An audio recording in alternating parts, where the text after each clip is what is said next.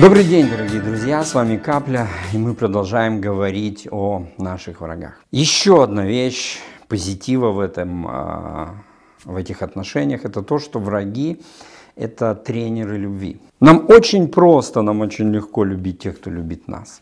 Но истинная любовь – это когда мы исполняем заповедь Христа из Нагорной проповеди, где написано «возлюбите врагов ваших». Мы, встречаясь с нашими врагами, э, просто должны, как христиане, проявлять любовь.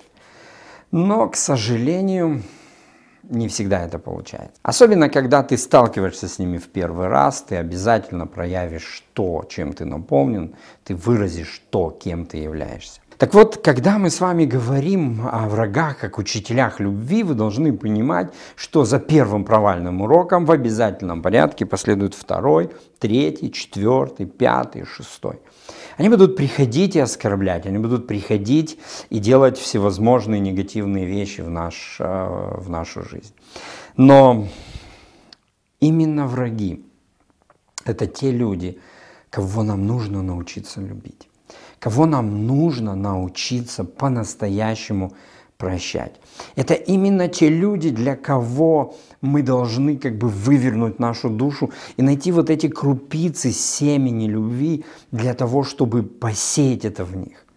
Э, мы не сможем, знаете, однажды утром проснуться и уметь любить.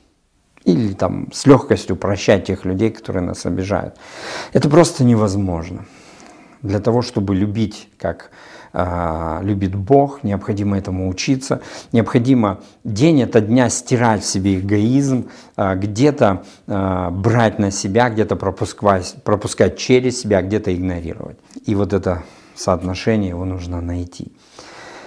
Враги – это те люди, которые учат нас любить. Если мы не будем пытаться любить в ответ – конечно же, мы никогда не научимся. И первое, что мы должны выучить в этом уроке, это то, что мы должны любить этих людей. И потом мы учимся, как мы можем это сделать. Потом мы учимся, как побороть себя, обиженного, оскорбленного, раненого, эм, в том, чтобы начать все-таки любить врагов. Мы не задаем вопрос, почему мы должны это делать.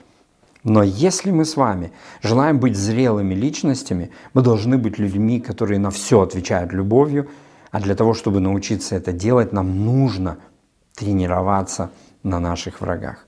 Потому что это те, которые всегда будут эм, предоставлены нам, они сами предоставляют себя нам для того, чтобы мы тренировались на них в нашей любви. При этом они всегда будут ее испытывать, при этом они всегда будут сомневаться в искренности наших поступков.